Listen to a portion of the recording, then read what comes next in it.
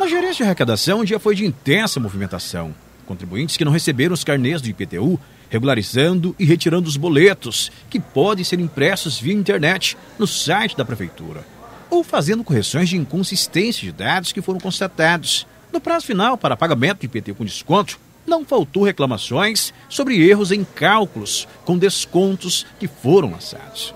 O meu IPTU veio 125 reais. Ó, veio 125 reais. Isso aqui é para me pagar, é, para me pagar sem ser a cota única. Se eu fosse pagar a cota única, veio 120. Ou seja, o desconto está errado. Se é um desconto de 10%, era para tirar cerca de 12, 13 reais por aí. Eles tiraram só 5. Então é mentira esse desconto de 10%.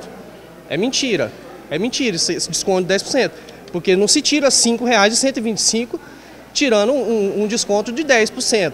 Em Ji-Paraná, 53 mil carnês do IPTU foram entregues nas residências por 41 carteiros.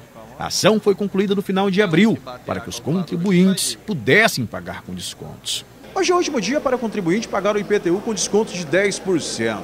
Após essa data, o prazo não será prorrogado. A previsão do município com o lançamento de 12 milhões em impostos é de arrecadar pelo menos 7 milhões já que 40% dos contribuintes ainda estão inadimplentes.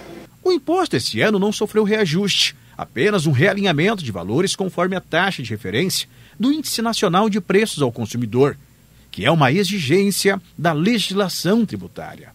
Atualmente, o IPTU é 100% aplicado no município em obras de infraestrutura. É melhoria? É, com certeza, melhoria para a população, para a residência, para todo mundo. Dos valores arrecadados com IPTU, 25% é destinado à saúde, 15% à educação, 6% repassados à Câmara Municipal e o restante investidos em obras de infraestrutura. O não pagamento do IPTU resulta em baixa arrecadação, trava os investimentos e o nome do contribuinte é lançado na dívida ativa e cobrança extrajudicial.